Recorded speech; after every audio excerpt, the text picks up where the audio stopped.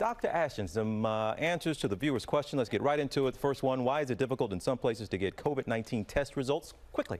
This is the million dollar question, TJ. Oh. Uh, it has to do with a lot of different variables, whether they have the capacity to process that specimen on site or do they need to send it out? Uh, are there supply chain disruptions in terms of the reagents used to do that? Uh, the people running those tests, a lot of different steps along the way, but I want to be crystal clear.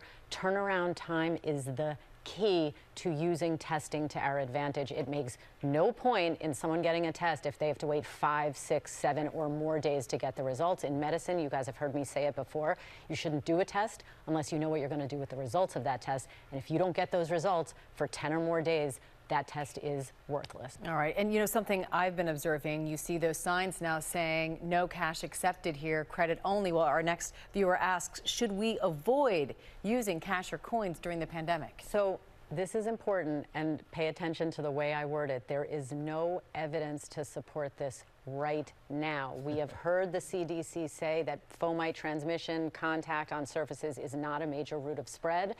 And again, if you want to use cash or coins, wash your hands. That is so important. It was before this and it will be after this. All right, Dr. Jen, thank you. And you can submit your questions to Dr. Jen on her Instagram at Dr. J. Ashton. Well, hey there, GMA fans. Robin Roberts here. Thanks for checking out our YouTube channel. Lots of great stuff here. So go on, click the subscribe button right over, right over here to get more of awesome videos and content from GMA every day, anytime. We thank you for watching and we'll see you in the morning on GMA.